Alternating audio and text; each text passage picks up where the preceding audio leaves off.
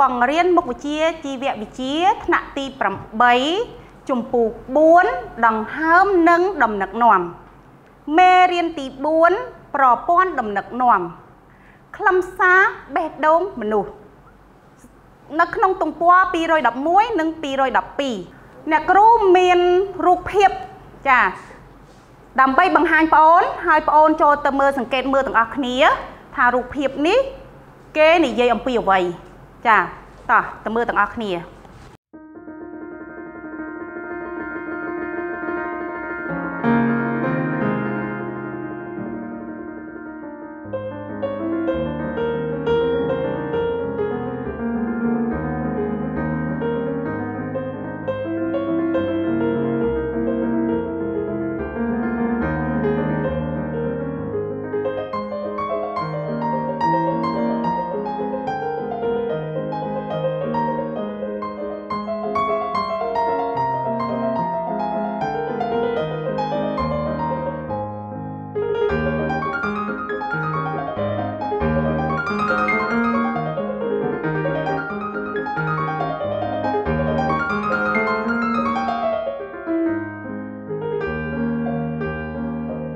ចា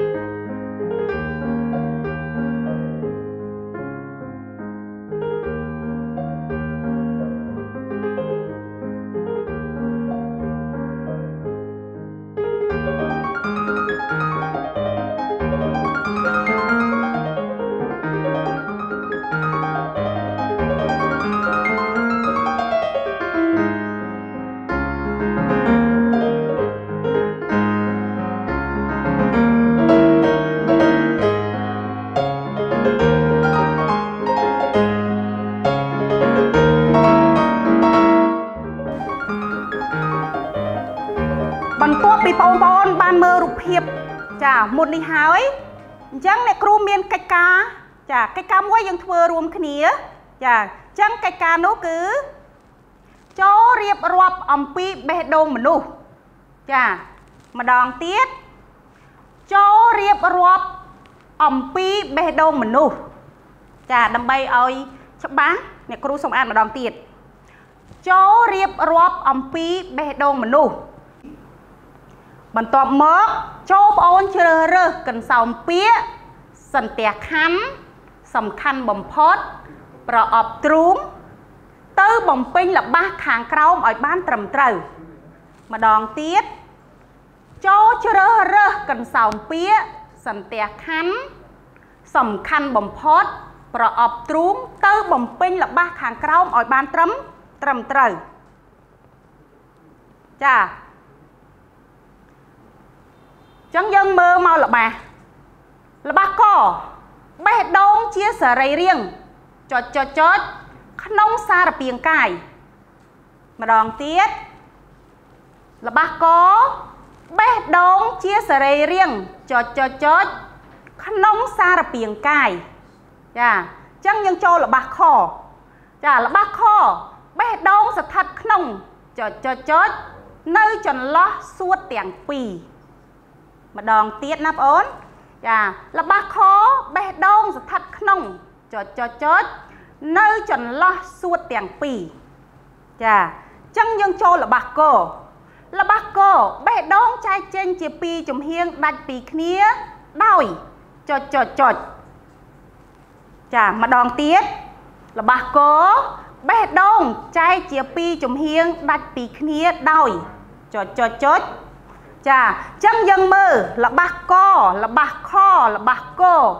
តើយកកន្សោមពាកអ្វីខាងលើមកបំពេញឲ្យត្រូវតាមល្បះនេះមួយនេះមួយអញ្ចឹងសាកធ្វើទាំងអស់គ្នា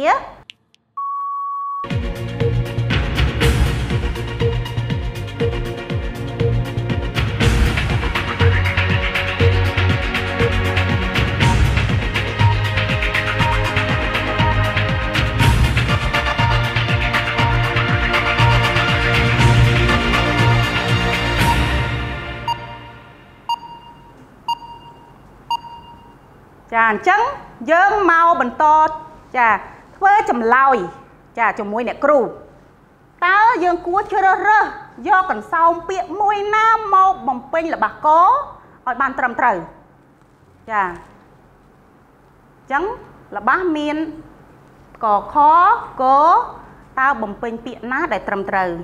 អញ្ចឹងយើងមើលណារបស់កបេះដូងជាសរីរាង្គចាសរីរាង្គ ក្នុងសារពាង្គកាយអញ្ចឹងយើងមើលមើលកន្សោមពាក្យមានសន្ទះខណ្ឌសំខាន់បំផុត ប្រអប់ទ្រូងអញ្ចឹងគួរយក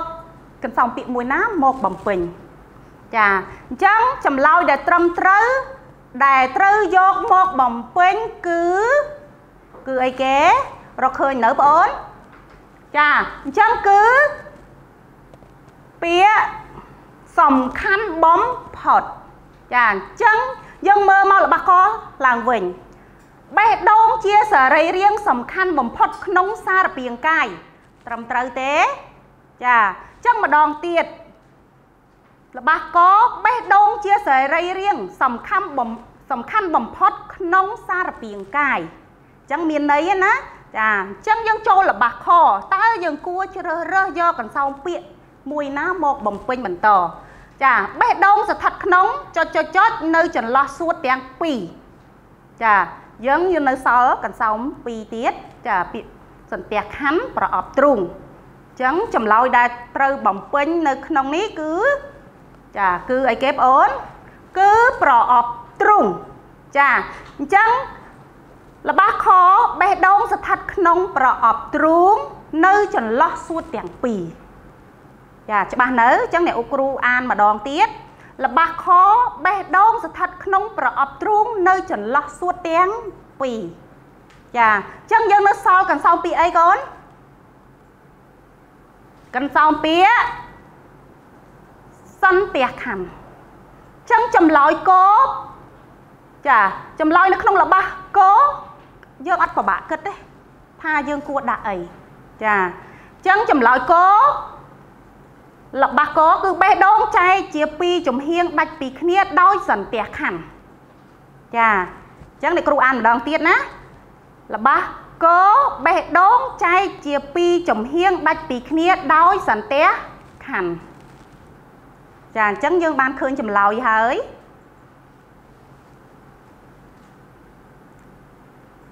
ចាអញ្ចឹងចម្លើយទាំងអស់នេះកខក កូនឃើញហើយថាវាមានន័យត្រឹមត្រូវចាអរគុណអ្នកគ្រូមានកិច្ចការមួយមកធ្វើរួមគ្នាអញ្ចឹងបងអូនមើលតើកិច្ចការនោះជាអ្វីចាកិច្ចការនោះគឺចូលបំពេញឈ្មោះផ្នែកនីមួយនីមួយតាមលេខរៀងនៅក្នុងរូបភាពពុំនោះបណ្ដោយបេះដូង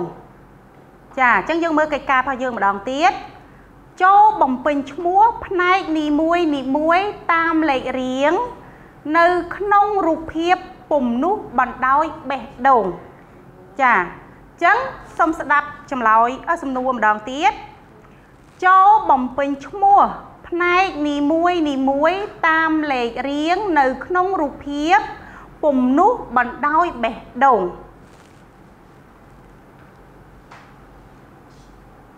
អ្នកគ្រូមានចម្លើយឲ្យប្អូនជ្រើសរើសដើម្បីយកទៅបំពេញចានៅលើរូបភាពនោះចាអញ្ចឹងពាក្យដែលយើងត្រូវបំពេញមានចំនួនទាំងអស់ចាគឺ8ចាអញ្ចឹងមកមើលជាមួយគ្នា1សន្ទះខណ្ឌចា1សន្ទះខណ្ឌ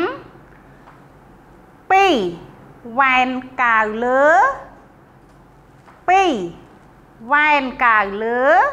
ចា3អតេអអ3អតេអអ4ចា4ថតក្រោម4ថតក្រោម5ចាវ៉ែនសួត5វ៉ែនសួតចា ចឹង6ចា6ថតលើ6ថតលើចា7អតេសួត7អតេសួត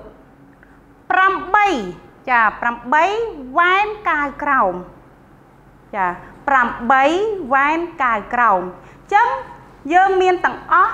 8ដែលត្រូវយកទៅបំពេញនៅលើរូបភាពរបស់យើងអញ្ចឹងឈ្មោះទាំងអស់នោះបំពេញកន្លែងណាដើម្បីឲ្យបានចារូបភាពមួយពេញលេញត្រឹមត្រូវចាអញ្ចឹងបងអូនសាកល្បងធ្វើតើគួររើសយកលេខរៀងមួយណា ទៅបំពេញក្នុងប្រឡោះណាអូខេចាបងអូនបានគិតបានធ្វើនៅ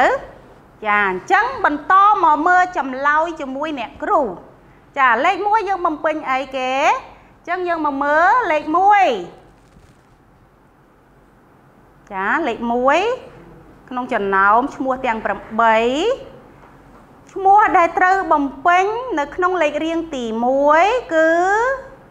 គឺអីគេបងអូនគឺអតៈអអ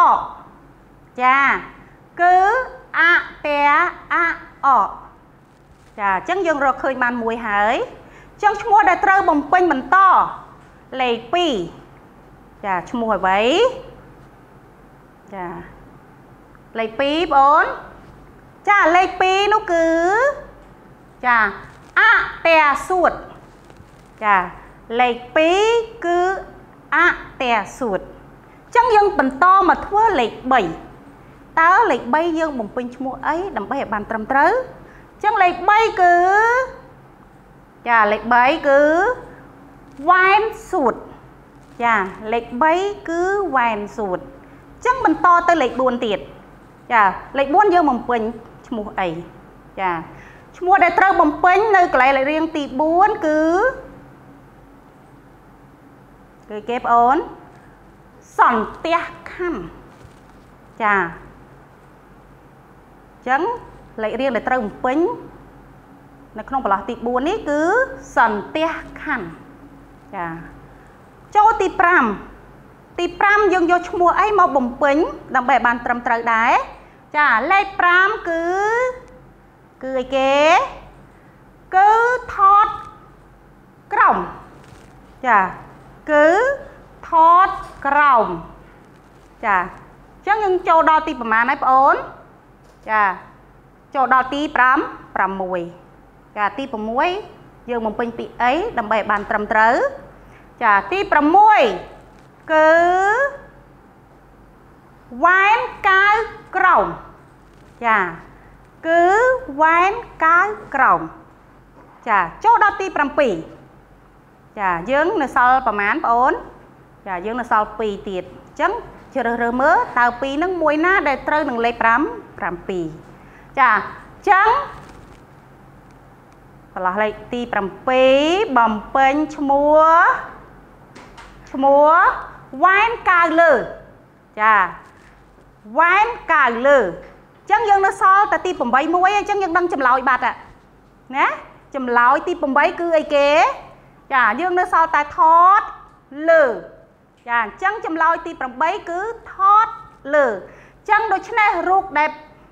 ចាដែលត្រូវបានបំពេញពេញលេញគឺមាន1អតេអអ2អតេសួត